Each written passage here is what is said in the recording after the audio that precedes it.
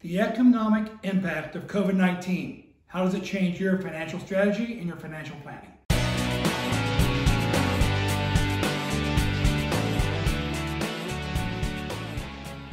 Hello, Ray Rike from RevOps Squared here. Welcome to this edition of the KPI Benchmark Index video blog.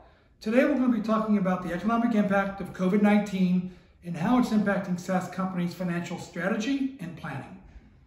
So let me start with some research that we've been conducting over the last couple weeks in concert with Sandhill.com. The Sandhill Group has been an advisor to software and SaaS companies for over 23 years, since 1997.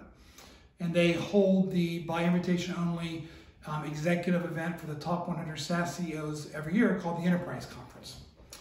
And what we found was number one, was the concept of speed over greed is critical to financial strategy.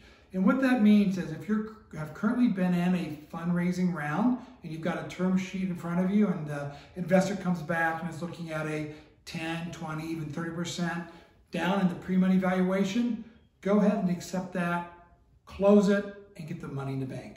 Why? Number one, the best in class investors are recommending 24 months of cash reserves. Number two, you never know exactly how this market's going to unfold over the next 90 days, 180 days, next year. So having the cash in the bank and being able to emerge even stronger on the other side of this is always a best practice. Number two, if you do have a credit line available, make sure you draw that down and put it into your cash reserves.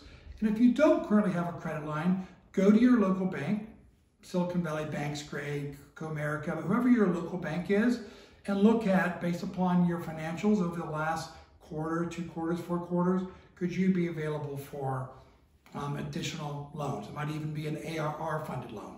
But go ahead and look at that and try to draw it down as quickly as possible. And of course, look at the Paycheck Protection Program from the federal government and SBA. Now, there's some discussion whether venture-backed startups, SaaS companies, can actually take advantage of that because of the affiliation rule. And I won't bore you or take a lot of your time today, but work with your local bank and see if they have access to that PPP program. So the second thing is regarding um, financial modeling. So as we've done research, we've talked over to a couple hundred SaaS companies over the last three weeks, what we're finding is a couple kind of common themes of how we do our scenario planning.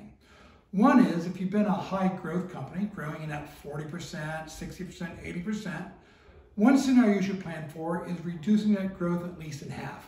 So if you were at 50% growth, project it to be at 25% growth and look at modeling that and how that impacts your revenue growth and also your expense controls that you need to take. However, you also should do another kind of worst case scenario plan and we're recommending that that should be at least 30 to 40% reduced revenue over the next 12 months. And you should look at new customer acquisition going down at least 50% up to 80%. Now that's going to be dependent upon the profile of your target market and your existing customers. And there's five attributes recommended to kind of segment your customers. One is what industry are they in?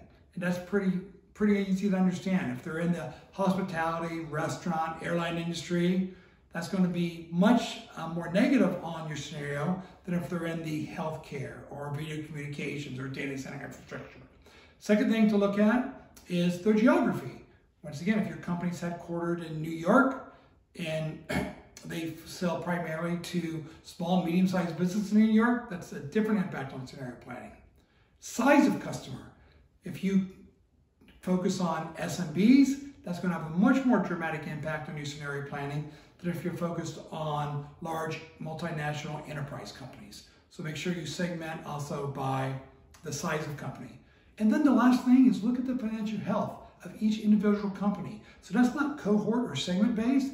That is, if you're focused on the automotive industry, go and look at the balance sheet the cash reserves, the quick ratios, even their debt and leverage, because you may find that automotive company A versus automotive, automotive company B is a much more um, good target for both expansion and or new customer acquisition. Then after you do these segmentations, you also should apply that not only after your new targets, but your existing customers to then think about churn, both gross dollar retention rate and net dollar retention rate.